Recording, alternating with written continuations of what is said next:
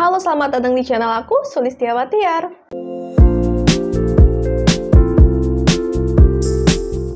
Kali ini aku mau membahas tentang make up dan kali ini aku bakal review face palette-nya dari Pink Flash. Jadi nama lengkap dari produk ini adalah Pink Flash Face Palette Multi Face Palette. Jadi aku beli yang nomor satu yang Mandarin Late. Ini tuh harganya bener-bener terjangkau banget untuk warna sebanyak ini. Ini aku beli harganya, aku lupa berapa ya, kurang lebih 50 ribu. Mereka tuh sering banget diskon di official store-nya juga. Nanti bakal aku taruh juga linknya di deskripsi ya. Klaim dari produk ini adalah waterproof, high pigment, dan easy to blend. Oh iya, sebelum review produk ini aku mau bilang bahwa aku juga termasuk orang yang masih pemula dalam make up.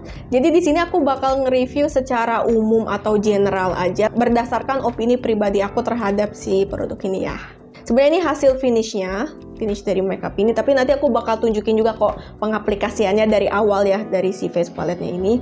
Oke, sekarang aku mau bahas tentang warnanya. Jadi warna dari face palette ini dia tuh totalnya ada 10 warna. Mereka tuh terdiri dari 6 eyeshadow, 2 blush on, dan juga ada satu highlighter dan juga satu kontur. Nah, untuk warna eyeshadow-nya dia tuh ada dua warna shimmer, ini warna shimmer, ada tiga matte, ini matte-nya, dan satu glitter.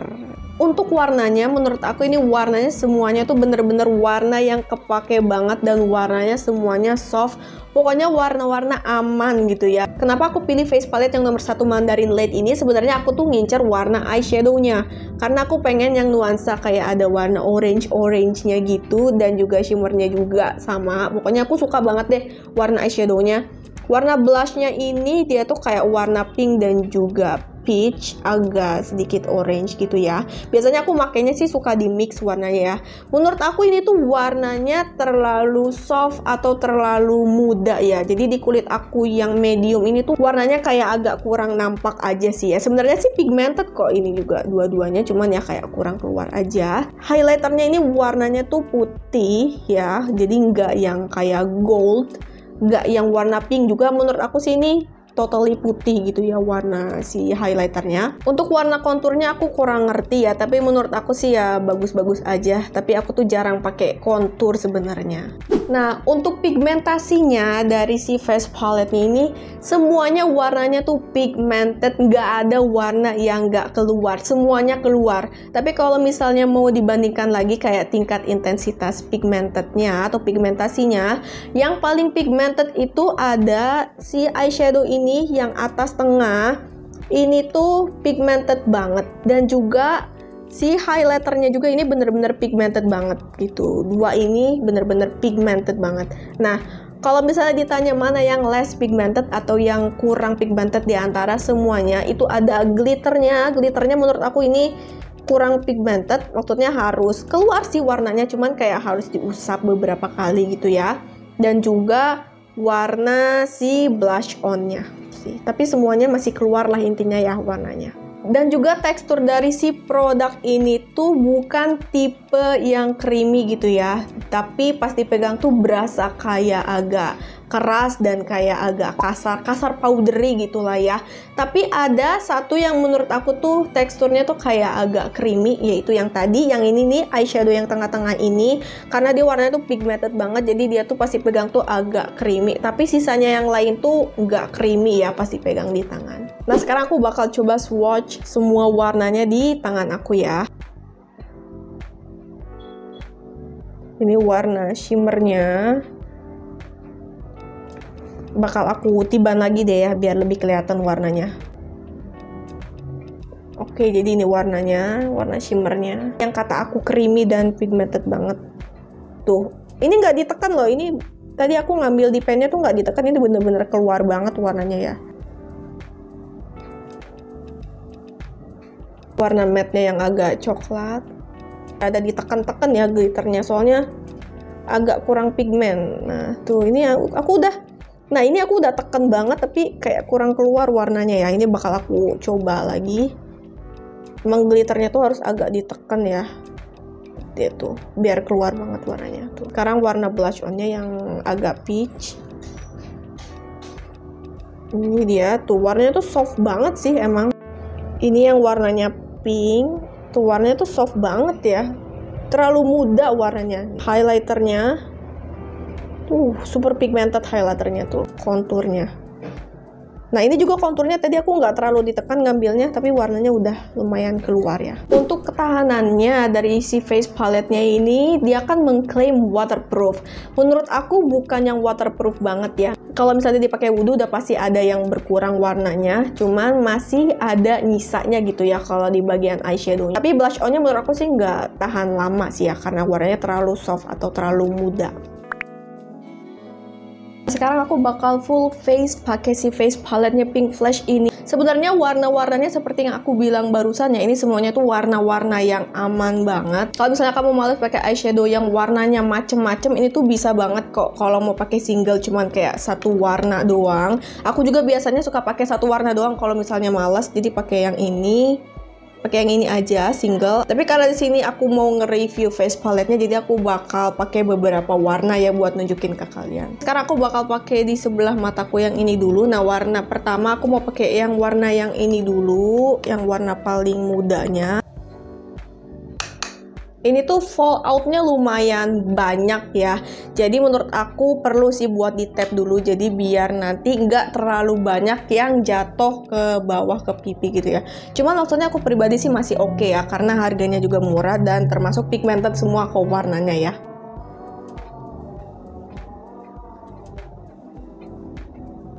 Tuh warnanya tuh lumayan langsung kelihatan ya. Ini warnanya soft karena kan tadi di di dab dulu ya di tap dulu sekarang ambil lagi warnanya. Oke kita pakai lagi.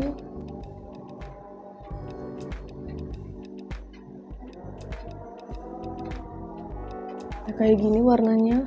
Sekarang aku mau pakai yang di bawah matanya juga untuk warna yang sama ya. Pakai di bawah mata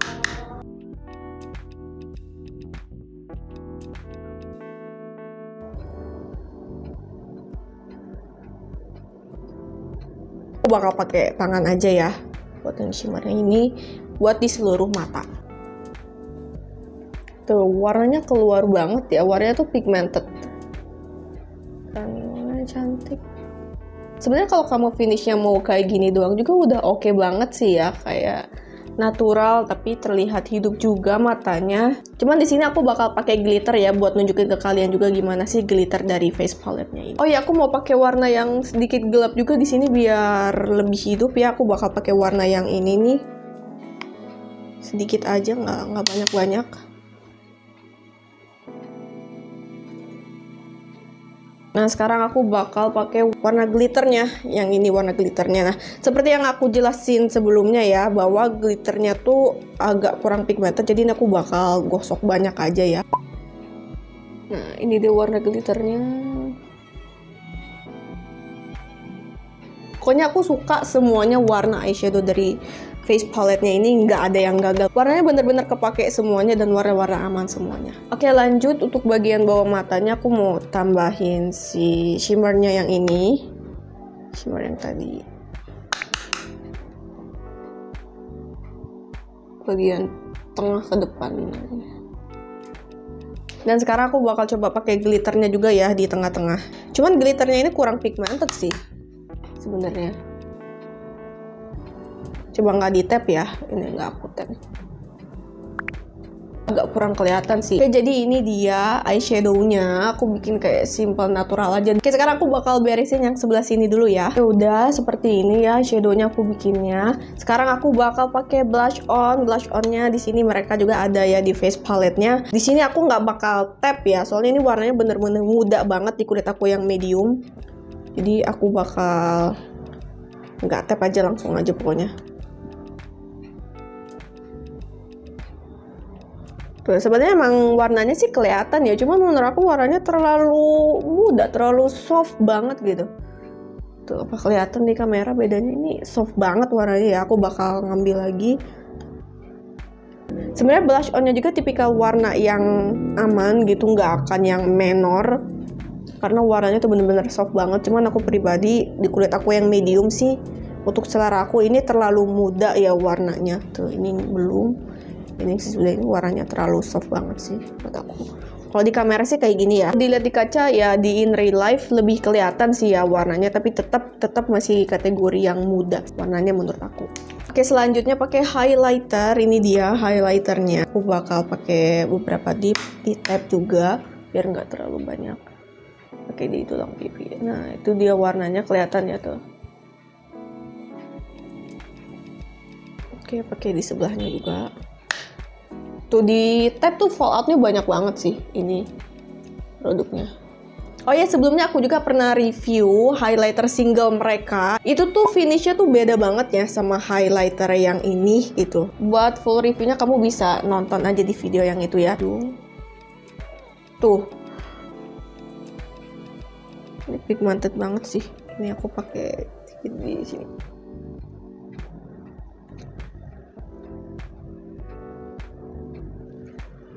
Sini ini tuh aku cuman ngambil cuman seulas aja dan nggak ditekan. Ini warnanya bener-bener keluar banget sih. Sekarang mau coba pakai konturnya. Sebenarnya aku tuh jarang banget pakai kontur. Tapi di sini aku bakal coba lah ya. Jadi mohon maaf kalau hasilnya kayak agak-agak kurang rapi. Karena aku juga masih termasuk ke pemula. Konturnya lumayan pigmented juga. Jadi aku bakal satu dip langsung tap aja gitu ya ini kelihatan nggak ya warnanya? Aku makanya tipis sih. Dia aku pakai tipis aja. Mudah-mudahan sih kelihatan ya di kamera.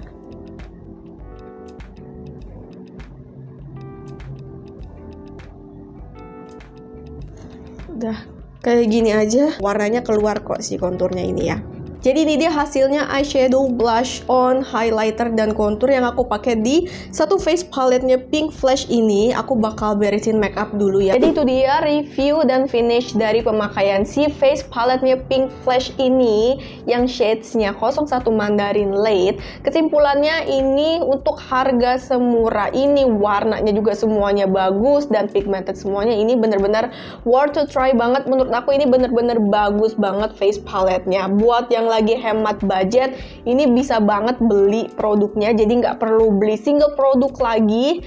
Dan juga ini menurut aku cocok banget buat remaja, buat pemula, atau buat yang lagi belajar make up, yang jarang make upan. Ini bener-bener worth to try banget sih. Ini bagus banget. Aku highly recommend this product.